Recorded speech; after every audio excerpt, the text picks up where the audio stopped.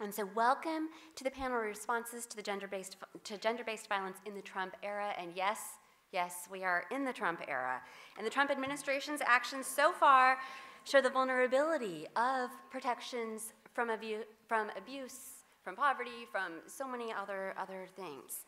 And of course, this was an election cycle that featured a video of Trump boasting about sexually assaulting women and revealed that over 20 gender discrimination lawsuits had been filed against him. And dozens of women made these reports spanning multiple decades documenting our president using his power, wealth, and celebrity status to degrade and take advantage of women, publicly and privately, while proclaiming nobody respects women more than I do.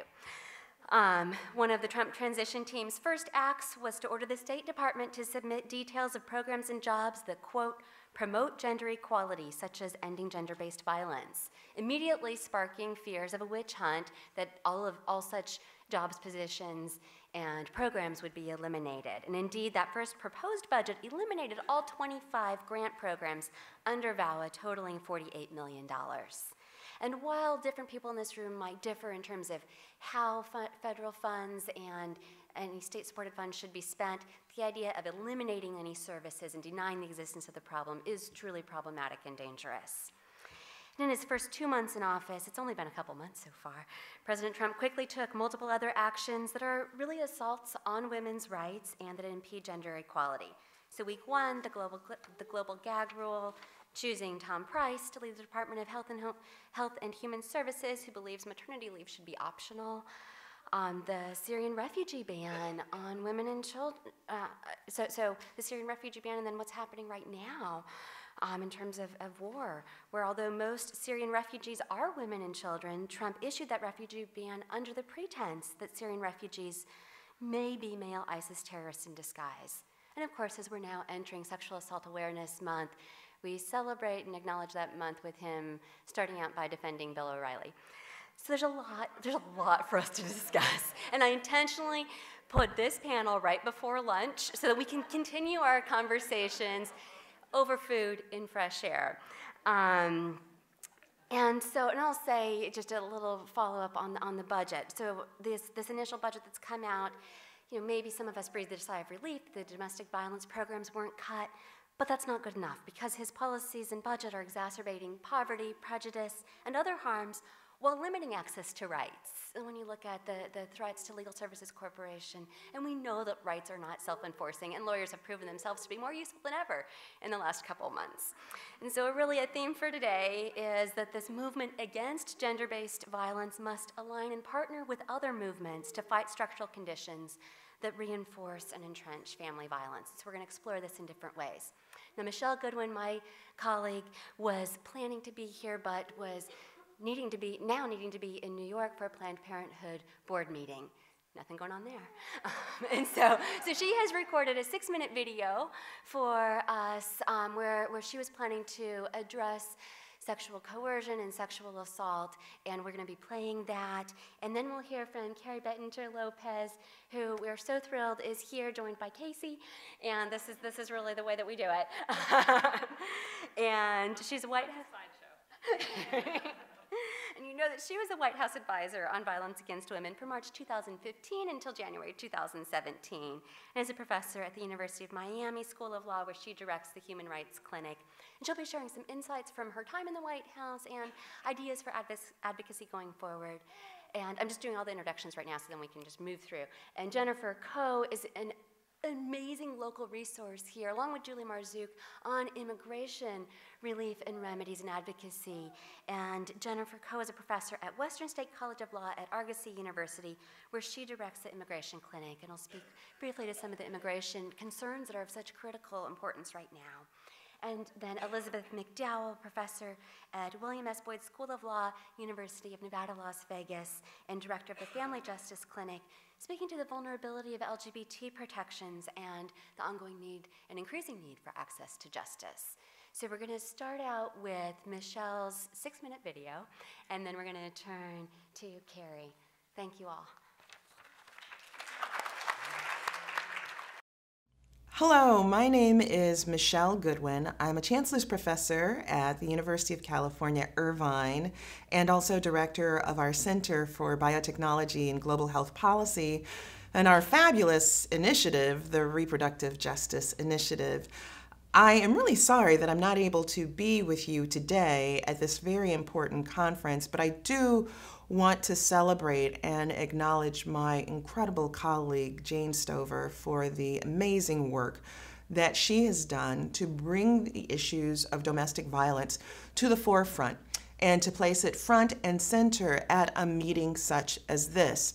In the United States, up until just a couple decades ago, it was permissible, legal, for a husband to rape his wife.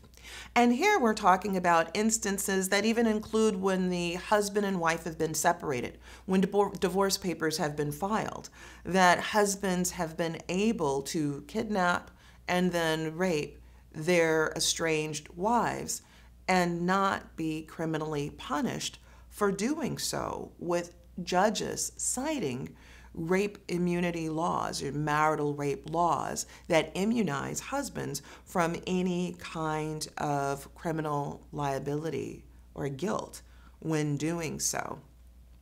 But it's also important to note what this means also in the lives of girls, too, because it's also been within the space of our judiciary that it's been permissible for fathers to rape their daughters and then be immune from suit as well within the space of parental immunity laws. Famous cases like Roller v. Roller um, help to help us to understand, or maybe not understand it, but certainly provide evidence of this within American jurisprudence. And it's important to note that those aren't just simply uh, this sort of draconian old, but actually it's been made new and real again. Just months ago in Montana, a judge threw out a plea deal that a father had, a father who had serially raped his daughter, his 12 year old daughter, serially over and over again over years. That father had taken a plea deal of 25 years. That 25 years was less than the 75 years that otherwise he could have served upon conviction. So he took a 25 year plea deal, and Judge McKeon in Montana just a few months ago threw that out and said, well, this father would be missed by his children, particularly his sons. So his solution was to throw out the agreement that this father had made with the prosecutors, which had been signed, and instead, Judge McKeon sentenced the father to only 60 days in jail. And in fact, it was only 43 days in jail because he had already been in jail 17 days. Right? So these are the issues that are important not just for thinking about historical times, but rooted in the present day. I mean, we just have to take the trek up to Stanford to think about then what campus rape means in the case of Brock Turner. And Judge Persky um, feeling sympathy for this young man, where Brock Turner, convicted of three felony counts of sexual assault, ends up serving what ends up amounting to basically a boot camp sentence to just three months in a local jail. So there are ways in which the state can be complicit uh, in the subordination, the subjugation, the violence against women and girls. And it's really important in this meeting that attention is paid to that. So, in my final minutes, here's what I want uh, to put on the table for us. I want for us to think about the ways in which domestic violence gets escalated in pregnancy because it does. And I want us to think about the ways in which we need gun reform because a woman is far more likely to die in her home when there is a gun and she has been the victim of domestic violence. But I also want us to think about the ways in which the state can also further undermine women's rights. There are some states that have floated gag rule laws that would prevent a doctor from asking a woman whether or not there is a gun in the home when she has been a victim of domestic violence. Does that make any sense? I mean, of course it doesn't, but these are the kinds of issues that we need to pay attention to. We also need to pay attention to the ways in which the state can be violent against women too, as such as in cases where women are being prosecuted for conduct during their pregnancy where they need medical care and they don't need jailing and shackling and prosecutions by the state. And here I'm talking about cases of pregnant women like Bei Bei Shuai attempting suicide during pregnancy and the state of Indiana prosecuting her for attempted first degree murder. That makes absolutely no sense. Or the cases in which a pregnant woman in Iowa falls down the steps during her pregnancy and the state seeks to prosecute her saying, well, this was just a botched attempt at an abortion. Well, that absolutely makes no sense.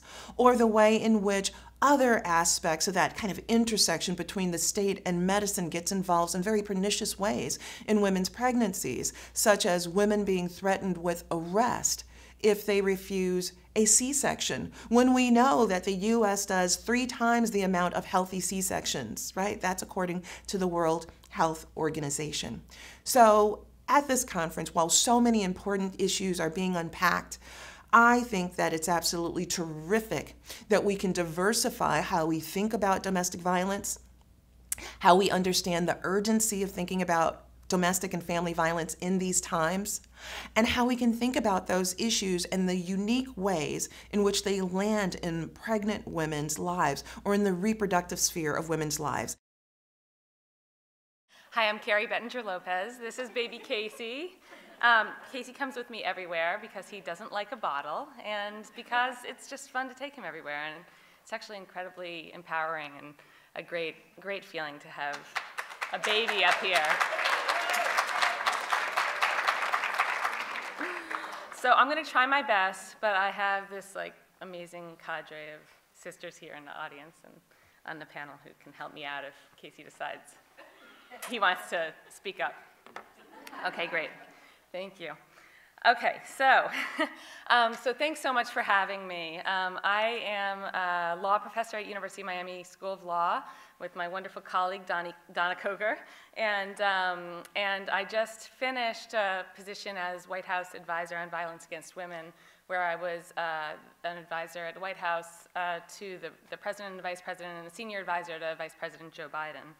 Um, and my job there was really interesting. I, I felt like I was kind of the least likely of people to be selected for that position because I came in as a strong advocate of the US government. A lot of, of course, the critiques that are being levied today were ones that I've made um, principally in international human rights fora, and, um, and I've done a lot of work kind of thinking about framing uh, uh, you know, institutional responses or lack thereof to domestic and sexual violence as a human rights violation um, in the United States. And so I came in and uh, it was, you know, was baffled while I was there and continue to be, but also it was an incredible experience. So I want to take a couple moments to just reflect on some of the lessons that I learned there as an advocate from inside and now coming back outside.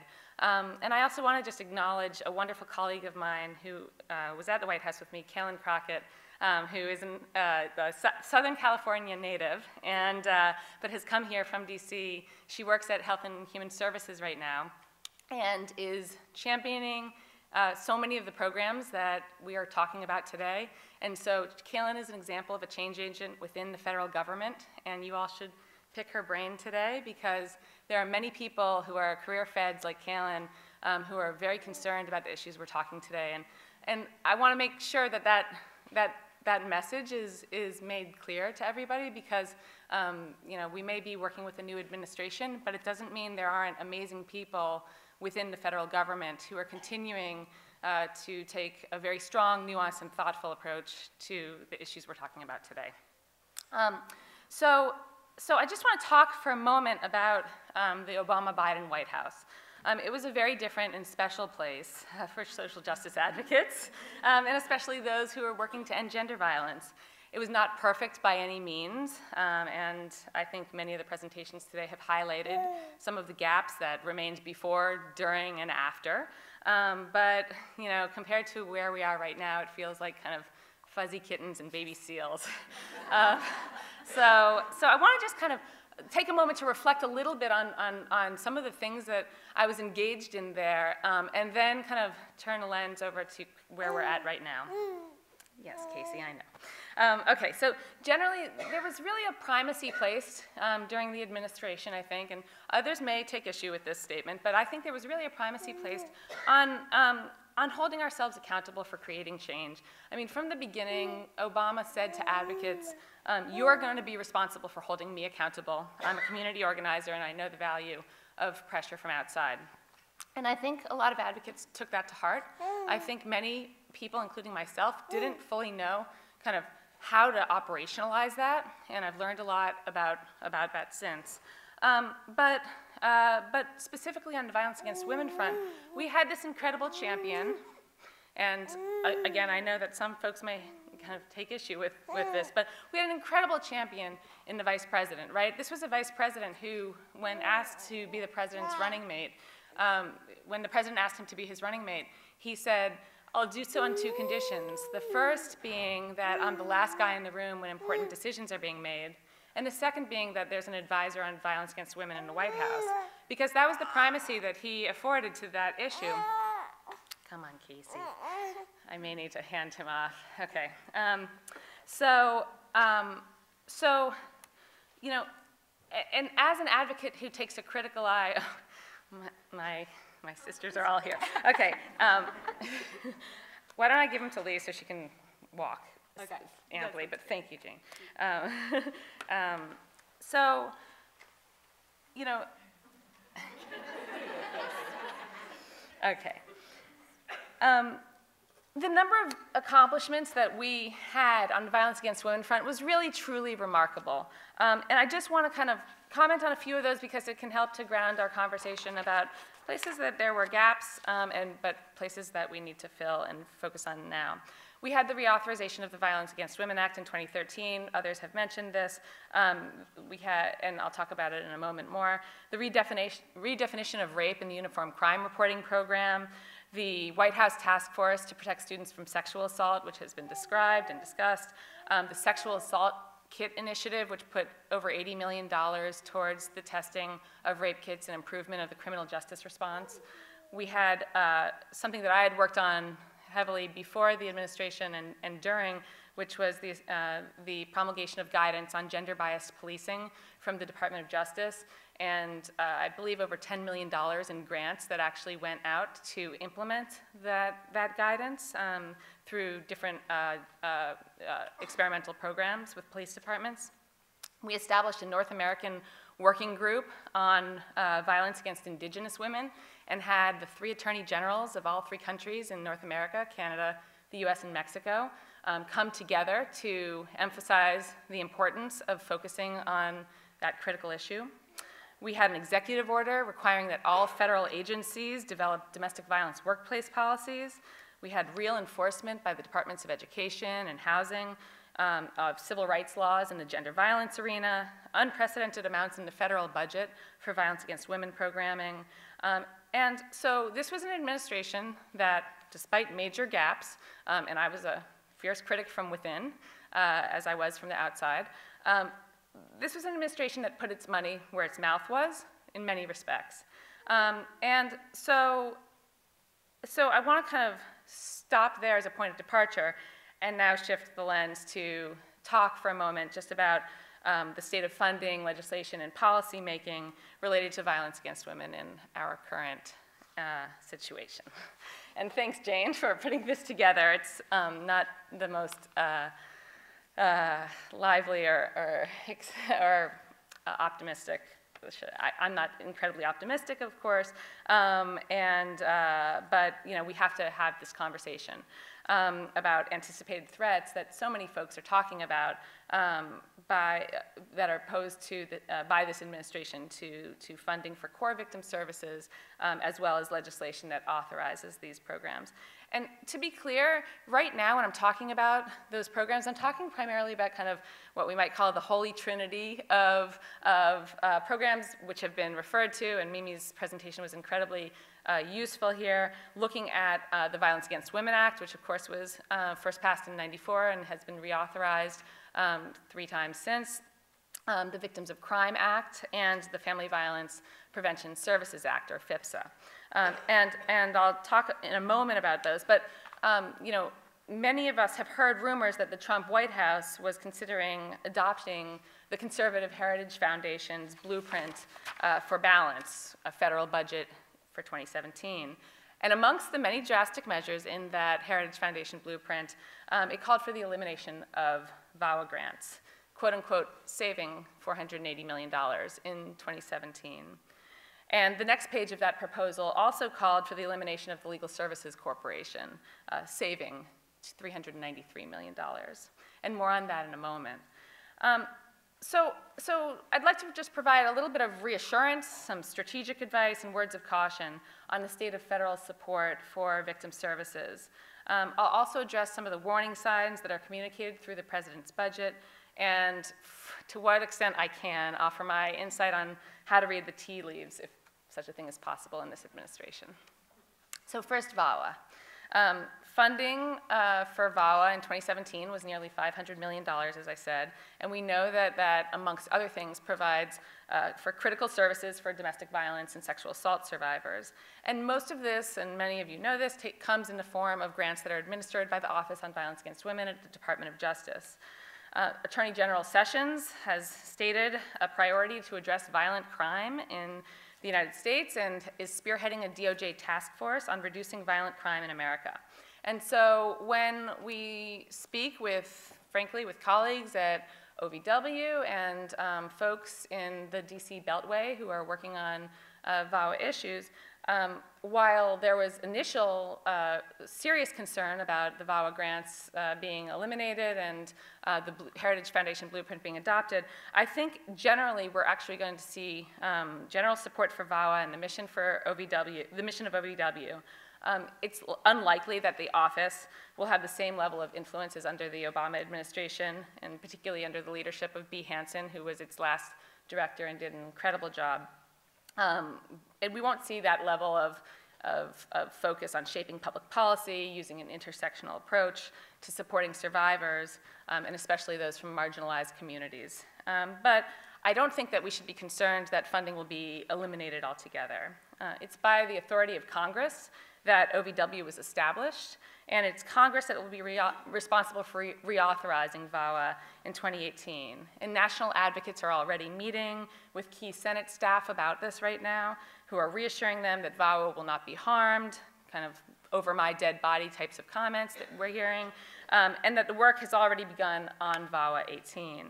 Um, and so I just have a quick slide um, here. This is a letter, a bipartisan letter um, that was sent to the president um, a month or so ago um, from a you know, bipartisan group. Um, you see Grassley and Leahy on the, on the signature lines there, kind of emphasizing the importance of VAWA, their, their support for VAWA. But I highlighted this language um, from the bottom of the letter, uh, which, you know, for what it's worth, and again, for tea leaf reading, the victims of these crimes can include children and teenagers, the elderly, persons with disabilities, and Native women, amongst others.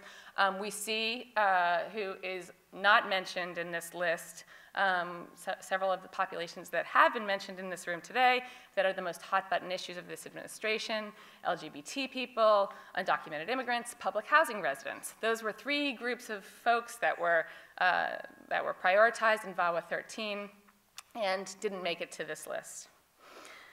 But at the same time, we have to remain vigilant. Um, as I was saying, um, we have to uh, focus on areas where VAWA 13 made so much progress. So these populations, as well as um, the folks that, the populations that I just mentioned. Um, and, and while there may be disagreement in this room about this, my position is that um, given the poli political reality of the moment, that if we can salvage VAWA 13 as a baseline, uh, that that would be a, a victory, um, that we should be thinking very, uh, very strategically at this moment um, about any expansion of, of VAWA, any kind of any tinkering with, uh, with its focus, um, because if we don't uh, get if, if, if a straight up reauthorization is not what Congress is grappling with, there could be a lot of tinkering that waters down significantly some of the important gains that we made in 13. And I would love to have a conversation further about that. you may have also heard this week uh, some other news. Uh, um, several members of the House of Representatives announced a new bipartisan task force to end sexual violence, and they've said that it will be focusing on addressing sexual violence in the military, on college campuses, rape kit backlogs, law enforcement training, and cyber harassment. The White House has shown no signs that they are going to have another advisor on violence against women, nor a council on women and girls. Uh, and so um, having this congressional task force could potentially be an important way of establishing bipartisan support for this issue um, from a different branch of government. Uh, and, and, you know, again, I say that with lots of hesitation, and we will kind of see where that leads. But that's an interesting development that we've seen this week. And given the gap in the executive branch, there are potentially opportunities there. Um, I just want to focus for a minute on VOCA, the Victims of Crime Act, and FVPSA, the Family Violence Prevention Services Act, for a moment. Um, neither of those were identified in the president's budget as programs to cut. So that's um, interesting in and of itself. I'm not sure that anybody is even aware that those programs exist, um, right? So there's, um, and, uh, and, and, and, so this brings me to just a, a, more general point, and then I want to wrap it up. Um, the lack of specificity in certain areas of the Trump budget, um, some programs might appear to be quote unquote safe, as I just mentioned, VOCA or FVPSA or VAWA, um, because they were unnamed uh, and not targeted for elimination. But this dramatic reduction in overall agency spending that we see in the budget is what we really need to be scared about. Um, this so-called skinny budget, right, if enacted, will inevitably require significant scaling back of programs across the departments uh, that provide essential services for survivors. So, for example, the Trump budget calls for, calls for an 18% reduction in spending at HHS. It calls, uh, excuse me, that, that equals $15.1 billion less than the authorized budget for 2017. At the Department of Ed, it's 13% scale back, or $9 billion. And at the Department of Justice, it's a 3.8% scale back, or $1.1 billion less than 2017 authorization. Um, and so with FVPSA, for example, the Family Violence Prevention Services Act, that's, that's a grant-making program that's around $150 million a year anyway. It's peanuts. It goes to fund domestic violence shelters and state coalitions across the country. Um, and, uh, and FVPSA provides federal dollars to more than 1,600 domestic violence programs across the U.S. in each of the 50 states and in each of the U.S. territories and tribes. Local programs depend on FVPSA funds for approximately 10% of their overall operational budget. So we can imagine the impact that such a vast blow to the HHS and DOJ budgets would have on the limited federal dollars that trickled down to these local programs, resulting in less support going to state domestic violence and sexual assault coalitions, rape crisis centers, DV shelters, to name only a few. Um, and so, regardless of whether these, these uh, sources of funding are specifically named or not, the overall program cuts um, to the departments are going to be hugely devastating. Um, the National Network to End Domestic Violence has estimated that if the cuts that are, were applied across the board um, as opposed to targeting programs individually, um, uh, are applied, approximately 260,000 fewer victims would be able to access shelters and supportive services each year. Um, and, uh, and, and just a final uh, couple thoughts just to close. The president's bu budget is a moral document. Uh, it articulates where the White House seeks to preserve, reduce, or increase funding um, and therefore really reflects the values of our current occupant of the White House. Um, we should be deeply concerned by these across-the-board cuts, um, and, but we should be reassured that in the end, Congress determines the budget. Um, we need to make sure that we're doing our advocacy at the local level to make sure our local elected leaders know, and meeting with them in their local offices is a very effective way of making your voice heard. Because we need to make no mistake, that the dramatic and sweeping nature of the cuts to programs we know are critical lifelines to vulnerable communities, as well as to as the proposed elimination of entire offices and, uh, and independent agencies. That this is an intentional tactic to demonstrate power and control. Much like an abuser, the Trump administration uses intimidation to create a climate of fear And we need to know that this, that's what ultimately this budget is all about. By putting these multiple programs and corresponding issue areas on a chopping block, the budget is daring progressives to be divided and disorganized.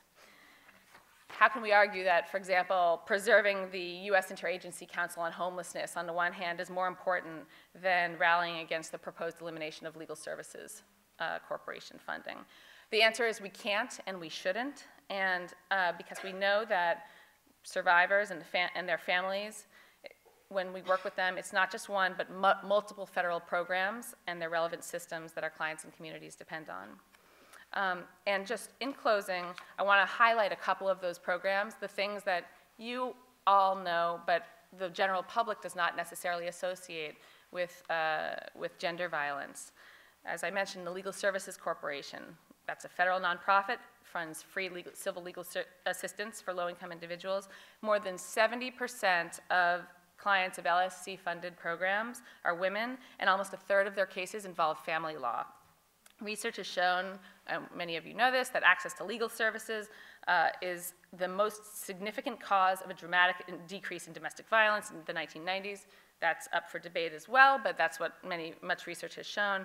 And when victims have lawyers, they can get tangible help, like an order of protection, child support, uh, safe custody or visitation arrangements, um, and ultimately a divorce, uh, if that's what they choose, um, while also accessing social services.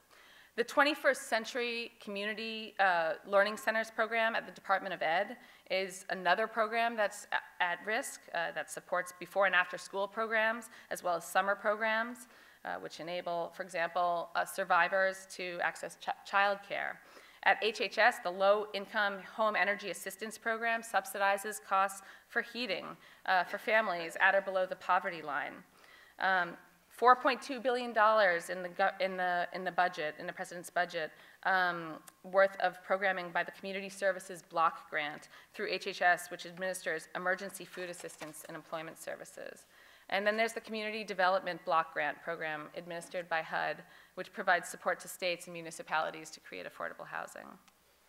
So, um, yes, it's not particularly, uh, I, I have no um, words to uplift us, but, um, but I do hope that, um, that, that this information, for what it's worth, can help us to kind of frame our advocacy when we're speaking with our local elected officials, um, when we're speaking with DVSA organizations um, to think through kind of this big picture. I think folks in the Beltway sometimes zone in on that holy trinity of, uh, of um, of, of legislation, uh, VOCA, FVPSA, and VAWA, as kind of the be-all, end-all, and sometimes we lose the forest for the trees, and we need to kind of see the ways in which these, uh, th this budget has such an overarchingly devastating effect uh, on survivors and on um, and, and for advocacy groups that are that are seeking to hold institutions and government accountable. So thank you for having me.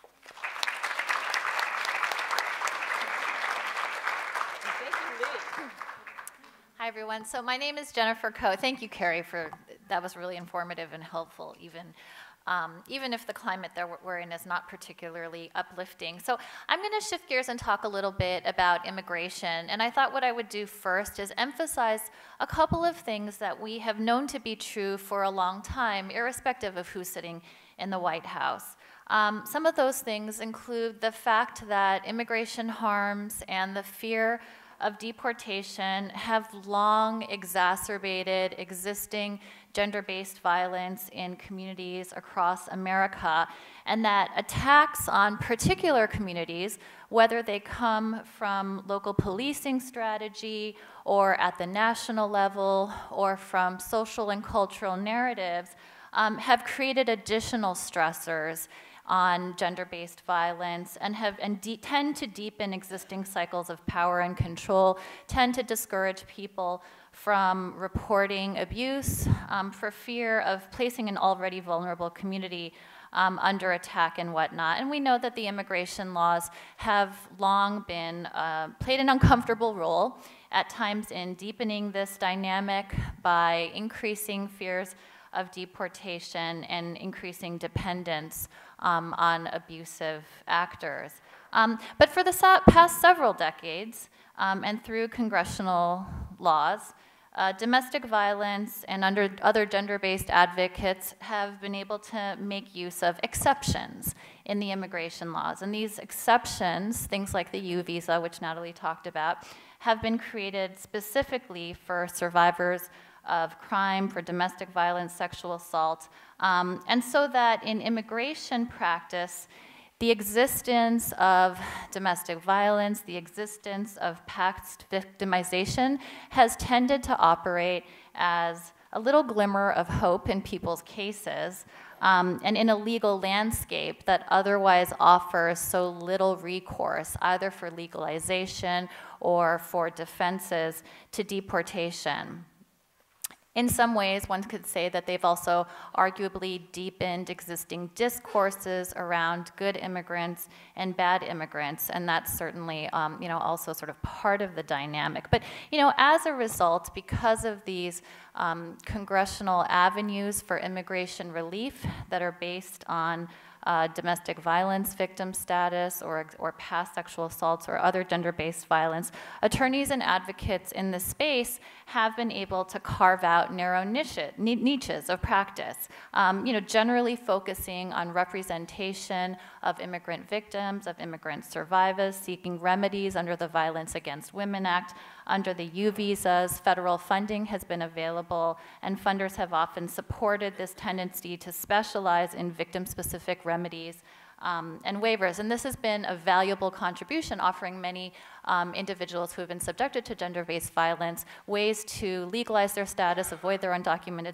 um, status and avoid deportation and detention. But I think in this climate, while valuable, those existing efforts are incomplete and also unclear as to how much support they, there will be for them to begin with. And the reason I say that is that, as we all know, this administration has, while cutting funding in many other areas, increased and boosting funding to essentially wage an all-out war against immigrants and immigrant communities. So it's a whole new ball game, even for, for people who have been traditionally working um, with immigrant survivors and victims of crime. On one hand, these forms of relief that I've mentioned that have been created by statute, things like the U visa, things like remedies under VAWA or gender-based asylum claims, those things themselves are not going to go away because unless Congress were to act, um, which you know, we haven't yet gotten there. Um, and it's unclear whether the administration will change their actual interpretation of the law and implementation, although that is certainly a possibility and not something that I would put past this administration.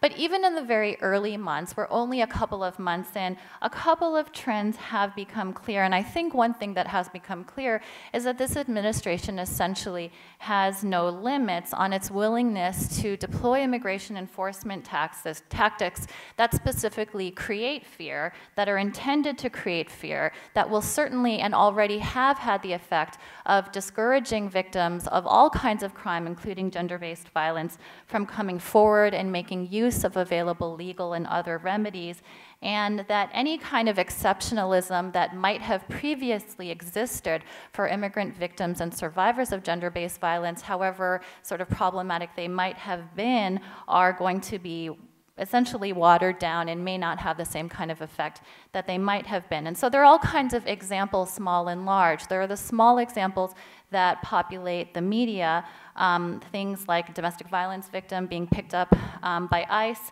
while at a courthouse seeking a protective order, domestic violence victims being deported after years of being told that they were not a priority despite pending U visa cases. There are already the reported uh, decreases in cities like Los Angeles and Houston of domestic violence-based calls, specifically from Latino communities.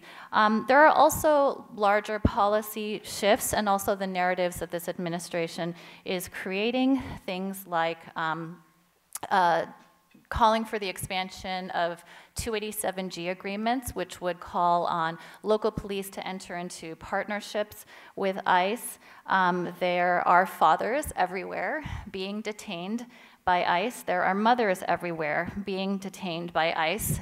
There are entire communities being singled out as dangerous and therefore banned by the federal government. And I think in an example that, I, that really best illustrates you know, it well illustrates this conference theme. The politicization of safety is the administration's creation of the voice office, of an office that's designed specifically to elevate and prioritize the safety of only those crime victims where the perpetrators have been undocumented immigrants. And so I think the result of all of this is that um, those concerned with gender-based violence, specifically in the immigration context, I think the bottom line is that we all need to become not just gender-based violence immigration advocates, but immigration advocates and deportation defense advocates. So let me just sketch out a couple of quick um, ideas for solutions, which are all sort of related. One has already been mentioned. I think the current climate really highlights the need for state and local interventions, whether it comes from state and local government speaking out against courthouse policies, resisting 287G agreements, calling for states and cities to fund universal representation in detention and deportation work.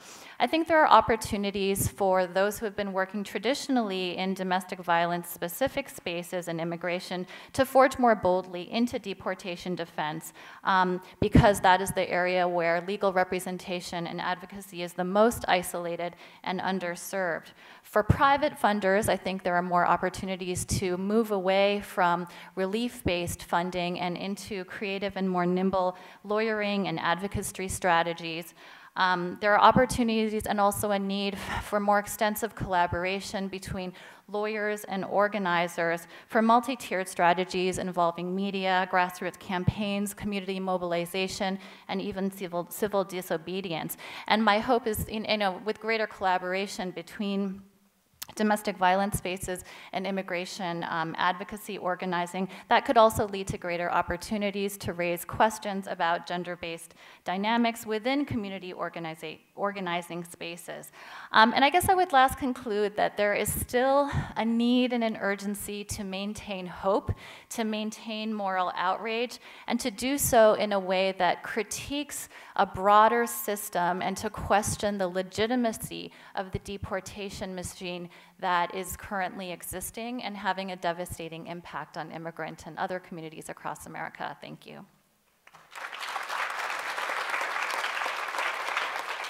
Oh, okay. Can you hear me better? Yes. All right. Did you hear what I said before? Sort of, okay. um, so I'm going to start with my, I think I'm going to echo some of what other people, a lot of what other people have said actually.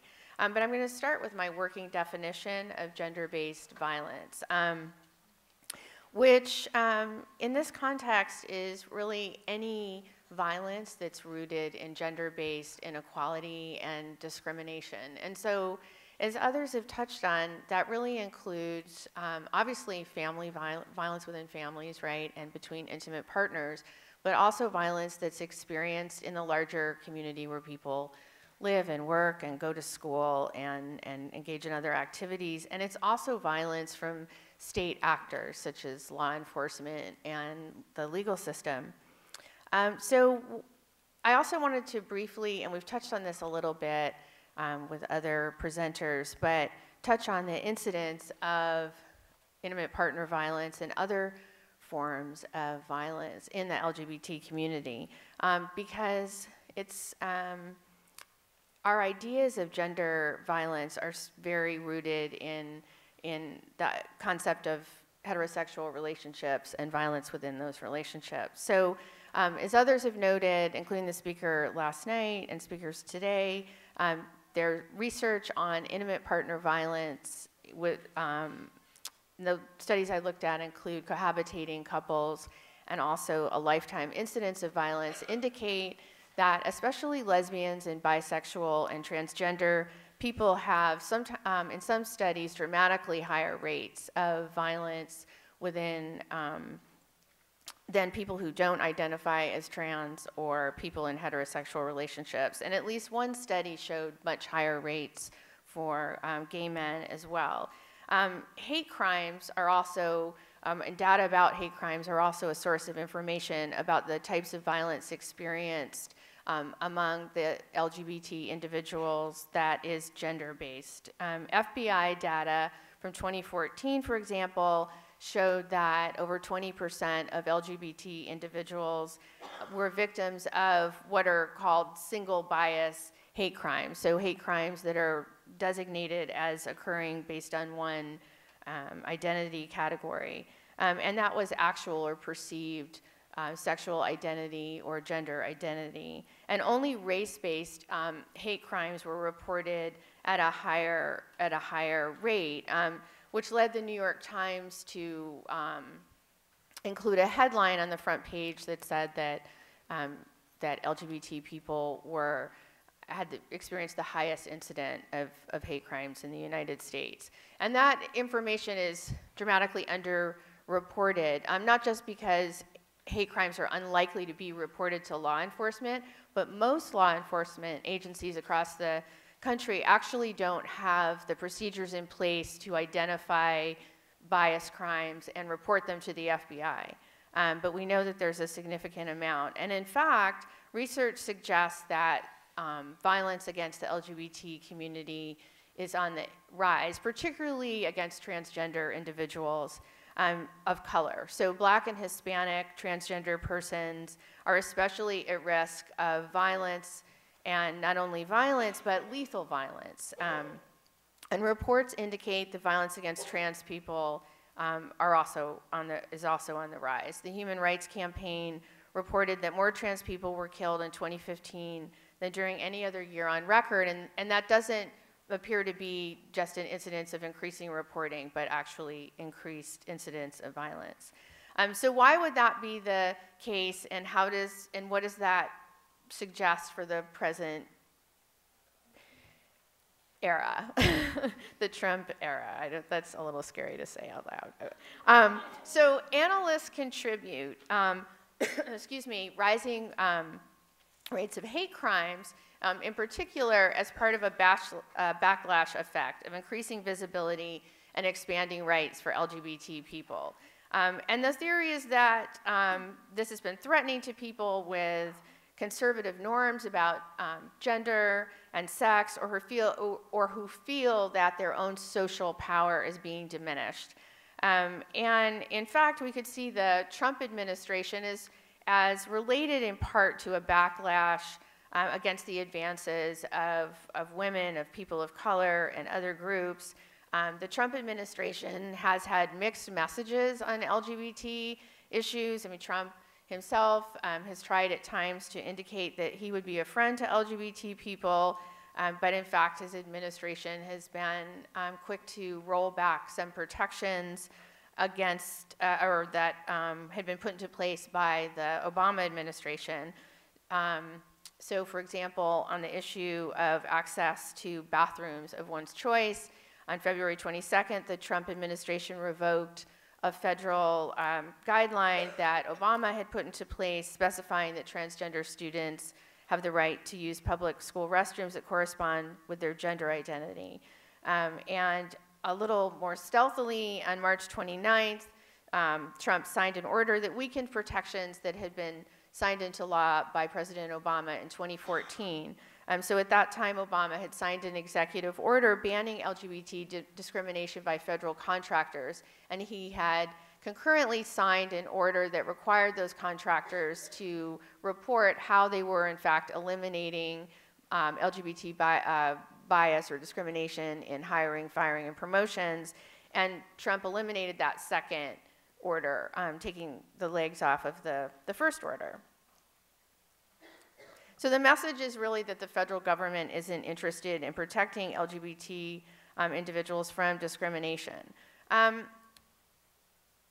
in this context, I think it's also important to echo what many others have said about the importance of an intersectional analysis, because I think another important factor in the vulnerability of LGBT LGBT people to um, violence that's gender based um, in their communities from state actors and in their um, intimate relationships is the relative invisibility of the intersectionality of LGBT people and that that fosters gender-based violence. And this has you know come up I think in e almost every um, conversation that we've had every um, panel that we've had so far and speaker.